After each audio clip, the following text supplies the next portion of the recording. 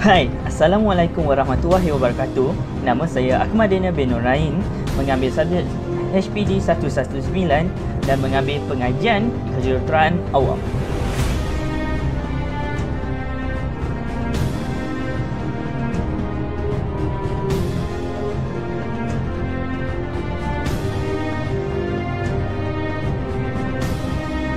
Video ini saya akan menceritakan tentang penghayatan saya terhadap rukun negara.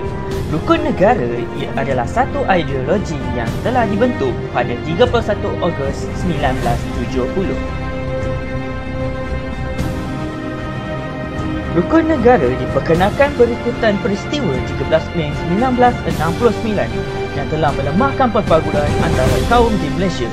Tujuan utama rukun negara dibentuk untuk membentuk perpaduan yang kukuh terdapat lima prinsip rukun negara yang perlu dijiwai. Yang pertama, kepercayaan kepada Tuhan.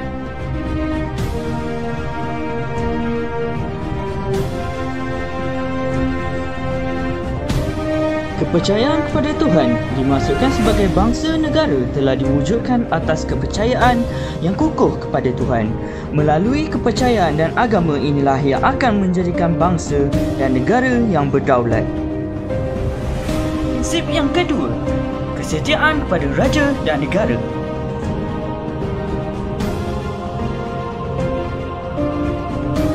hendaklah menumbuhkan tak setia, ikhlas kepada Seri Paduka Baginda yang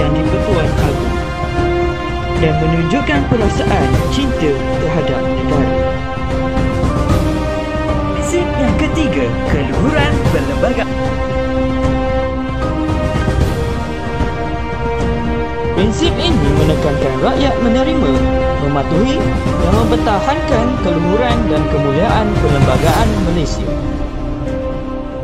Prinsip yang keempat, kedaulatan undang-undang.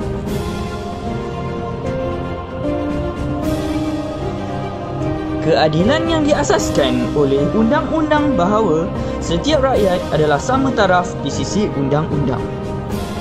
Prinsip yang kelima dan yang terakhir ialah kesopanan dan kesusilaan.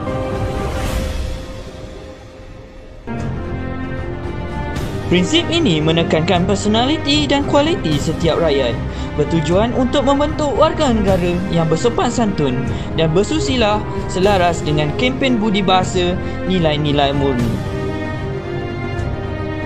Itu saja daripada saya, bersatu untuk negara.